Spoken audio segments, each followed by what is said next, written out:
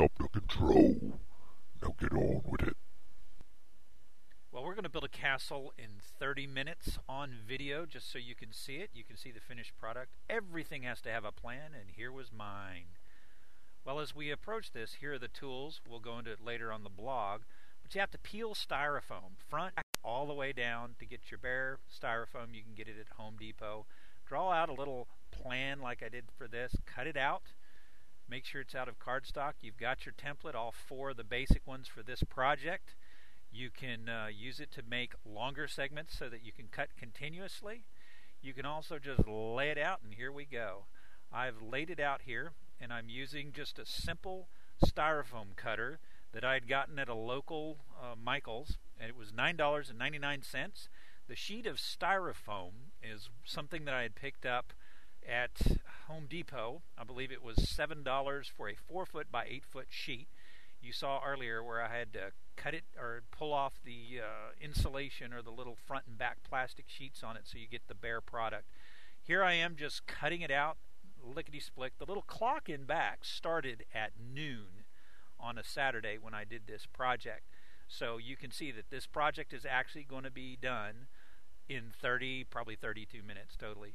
So I've just cut out the wall segments for the outer wall part and I'm just cutting the fiddly bits, the little indentations, so that they fit together like a jigsaw puzzle. Makes it easier to stand up and to uh, stake it out. So you can see me putting it together there.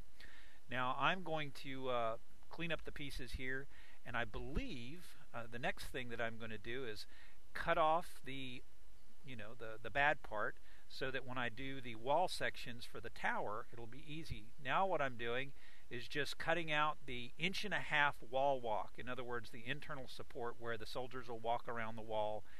And uh, I'm just cutting out the base pieces for that that will reinforce the thinner, fancier wall sections. Okay, I'm just about done here uh, cutting out the, the wall walk that will go inside the wall. And Cutting out the gate entrance there using the template that I'd cut out.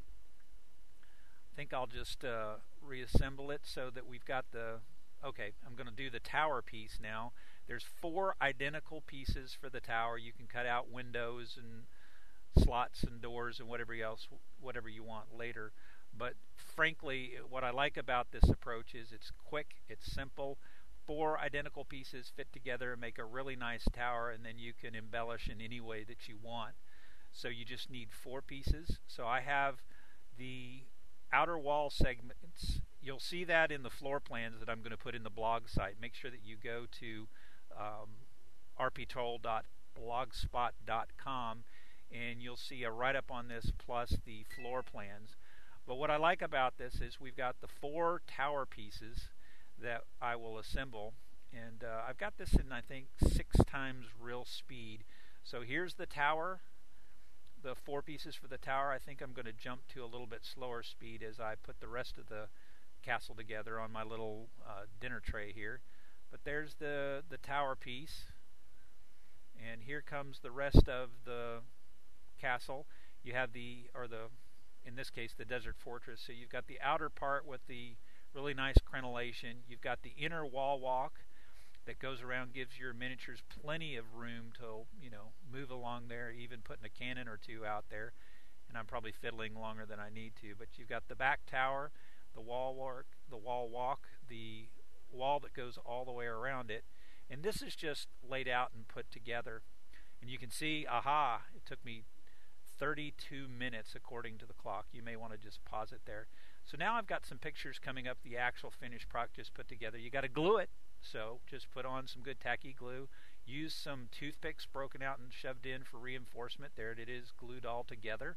You've got an overhead shot here of you know what it looks like with sand. I've primed it all in a cheap acrylic. That's called the Chocolate Castle, a buddy of mine said. I'd cut arches out to kind of give the inner wall some character. There it is from the back. Uh, here's primed in white. I've left it so you can open and put figures inside. And here's a 28 millimeter cutout there's the final thing. If you want more detail, go to rptroll.blogspot.com. There you can leave your comments. I hope to have a lot of future buildings that you will enjoy.